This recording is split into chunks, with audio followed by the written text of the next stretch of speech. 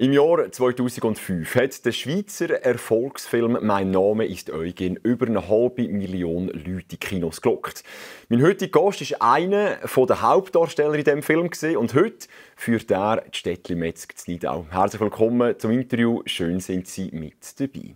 Ja, wie er auf die Zeit als 13-Jähriger ja, Kinderschauspieler zurückschaut und wie er aber auch Metzgersbranche, den Beruf heute beurteilt. Über das diskutieren wir mit ihm persönlich. Alex Niederhäuser, herzlich willkommen im Studio. Danke vielmals, grüße dich, Rodermatt. Alex Niederhäuser, vor 20 Jahren haben Sie den Charakter Edward gespielt, einer von den vier Stadtberner Lausbuben in «Mein Name ist Eugen» gibt es eine Charaktereigenschaft, die die Figur Edward hat, vor 20 Jahren, die Alex Niederhäuser heute immer noch hat? Ja, das ist definitiv die Leidenschaft zum Essen. Definitiv. Zum Rohwurst, Landjäger, das ist immer noch mein Ding heute. Und das hat der Edward im Film auch gerne gemacht, hat etwas Gutes gegessen? Ja, vorzugsweise Landjäger und Salametli, ja. Wir 20 Jahre her, die drei Arbeit, einen ganz erfolgreichen Film gesehen. Wir haben hier auch ähm, noch etwas eingeblendet, oder sie haben an der Seite gespielt mit dem Beat Schlatter und anderen grossen Schweizer Schauspielern und Schauspielerinnen. Ich stelle mir das vor, als 13-jähriger Bub, ein absoluter Spielplatz, oder so ein Set. Ja, definitiv ein Spielplatz und definitiv auch ein riesiger Grund für nervös zu sein. Also, ich mag mich gut daran erinnern, an die Tage, wo wir das erste Mal die Schweizer Ikonen kennengelernt haben. Ja. Aber gibt es so ein, zwei Anekdoten, wo Sie heute noch daran zurückdenken, wo Sie sagen, ja, das ist mir wirklich in Erinnerung geblieben, das sind ganz spezielle Momente? Ja, der erste Reitag, der war ganz, der ist ganz, ganz speziell für uns alle. Es war kalt, es war nass, es war nicht eine einfache Szene. Wir haben dort super Unterstützung bekommen von den Profis auf dem Set, vom, Re vom Regisseur, von unseren Coaches. Und das ist ein einschneidender Moment auch für mich, ja. dass man einfach dort den Willen noch können zeigen und Kraft braucht hat. Und das war so ein Punkt, der wirklich Mut braucht hat, zum Überschreiten. Der allererste drei Tage. Ja, und ich glaube, oder, mir, ist, mir ist ja noch ein Bub, sozusagen, mhm. und du müsstest auf einem ganz auf einem hochprofessionellen Filmset. Das ist einerseits Druck. Wie sind Sie mit dem umgegangen, mit den Erwartungen, die da im Raum stehen? Ich glaube, der, der Druck, der professionelle Druck, der ist nicht einmal so auf uns abgewälzt worden. Wir sind da sehr, sehr gut darauf vorbereitet worden, auch mit, eben mit Treffen mit den Schauspielern, mit der Regie, mit der Kamera und, und, und, und. und das ist dort einfach, man ist hergekommen und das hat einfach passt. Das ist schwierig, aber es hat passt und es ist gelaufen. Das war so ein bisschen der Druck, wo wir sehr, sehr gut begleitet worden sind, was uns nach dem weiteren Verlauf des Films, vom Drei, eigentlich sehr gut geholfen hat. Und der Film kann es antönen, das ist ein riesiger Erfolg geworden äh, in der Schweiz. Wie geht man mit dem Erfolg um? Realisiert man das als Kind, als Teenager? Oder haben Sie ein Umfeld gehabt, wo Sie so ein bisschen zurück, zurück auf den Boden äh, genommen haben? Mm, das ist auch nicht ganz so einfach zu beantworten. Weil so, dass wir ja wirklich müssen zurückgezogen werden Die Situation hat es aus meiner Sicht nicht gegeben. Bei keinem von uns Vieren. Äh, da muss ich einfach auch Merci sagen an die Produktion, die dort auch sehr, sehr gute Arbeit geleistet hat und uns einfach immer auf dem Boden behalten hat, schon vorgängig. Klar, es war bewusst, gewesen, das hat auch der Steiner Michi gesagt, der Film wird ein Erfolg, das kommt gut und da kommen Reaktionen darauf ab. Aber wir hatten Produktion im Rücken, die gesagt hat, Jungs, ihr seid einfach vier Buben. Also das ist nicht... Das war dort relativ gut gehandelt mit uns, ja. Also man hat sie, man hat sie gut betreut. Ja. Und gleich haben sie nachher nicht aufs Pferd Schauspielerei gesetzt. Wieso eigentlich nicht? Hängt hier wieder ein bisschen mit dem Film zusammen. Wir haben natürlich dort gesehen, was das bedeutet von der Arbeit her. Wir haben gesehen, was das von den, von den Zeiten her, vom Ver Verdienst jetzt eher weniger für uns Buben. Aber ich meine, ich will ein bisschen in die Richtung sagen, was dahinter steckt. Wie viel Zeit das man investiert für so ein schönes Projekt und dass man aber gleich nach, wenn er mal nichts ist, hat man einfach nichts. Also warum nicht eine Grundausbildung machen? Mhm. Und die Grundausbildung war bei mir naheliegend mit dem Metzger.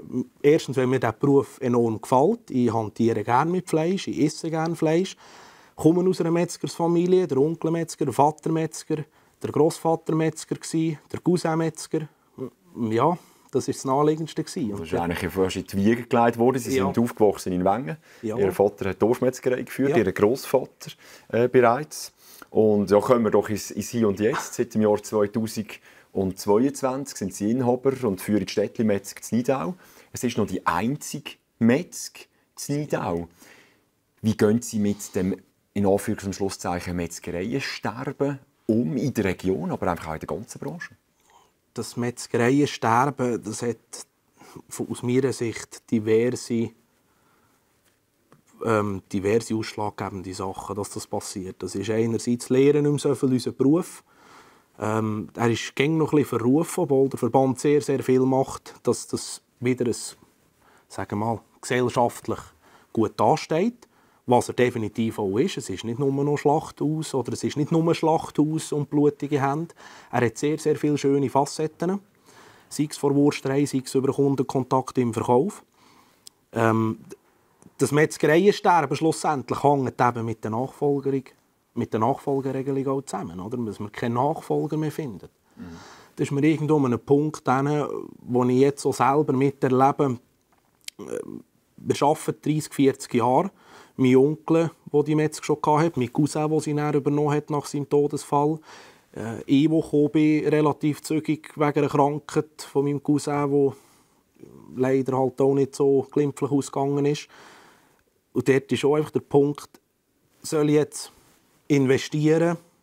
Mhm in die Metzgerei oder soll ich dort jetzt irgendwo durchgehen in der Hoffnung, dass dann plötzlich ein Nachfolger kommt? Aber Sie sind im Gesamten ein Team von fünf Leuten ja. und da muss man auch mit, mit guten Beispielen vorangehen ja. oder motiviert sein. Wie, wie machen Sie das? Oder einerseits sagen Sie, es ist schwierig, Nachfolger zu finden. Es gibt immer weniger und gleich haben Sie Verantwortung.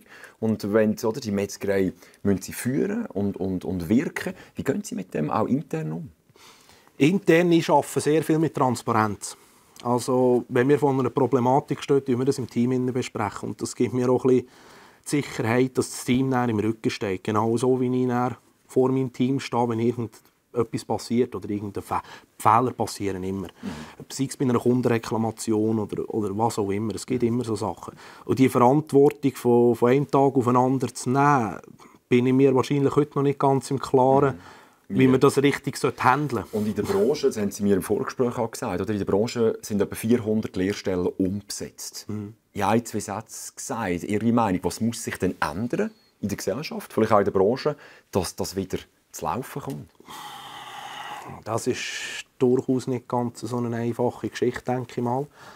Wir haben nicht mehr die Mentalität der Gesellschaft, drin, dass ein handwerklicher Beruf so interessant könnte für, für junge Leute. Wir haben einfach die Differenzen. Wir sehen es, wenn wir Schüler haben, Schnupperstifte haben. Äh, es ist streng. Es ist ein körperlich anstrengender Beruf. Man muss, auch wenn es heisst, der Dümmste aus der Familie lehrt Metzger, es stimmt auch nicht man muss auch noch ein bisschen rechnen können, man muss einfach gewisse Sachen haben und für, für viele ist das einfach mit dem Körperlichen zusammen und Arbeiten, die Arbeitszeiten, die Verkaufsarbeitszeiten, einfach nicht gangbar für mhm. das, was sie gerne hätten. Sie haben vor Nachfolge angetönt, Sie wären im Juli von diesem Jahr zum ersten Mal ja. Papi. Machen Sie sich da vielleicht auch schon Gedanken, dass das vielleicht mal eine, so eine Traumvorstellung wäre für die Nachfolge? Ja, definitiv. definitiv. Also, es ist nicht so, dass ich dort nicht guter Dinge bin und sage, du wirst ein kleiner Metzger. Es gibt einen Bub, ja, das wissen wir. Ähm, und klar. Aber können natürlich auch, ein, äh, auch wenn es ein Mädchen wäre, oder? Wäre natürlich der Metzgersberuf genauso attraktiv. Es ist für, be für beide Geschlechter interessant, unser Beruf. Aber ich tue da schon gut zuflüstern und gängig streicheln und sage, du bist ein kleiner Metzger. Vielleicht hat es Einfluss, vielleicht nicht. Alex Niederhäuser, noch eine letzte Frage und bitte um eine ganz kurze Antwort. Über Metzgersberuf haben wir geredet, machen wir Bogen wieder zu. Gibt es jemals ein Schauspiel-Comeback von Ihnen? Denke es nicht, nein. Alex Niederhäuser, vielen herzlichen Dank für den Besuch. Danke noch, Herr Odermatt. Merci vielmals. Das war es mit dem Interview von heute und ich wünsche Ihnen weiterhin beste Unterhaltung hier bei uns auf Telebilenk oder miteinander.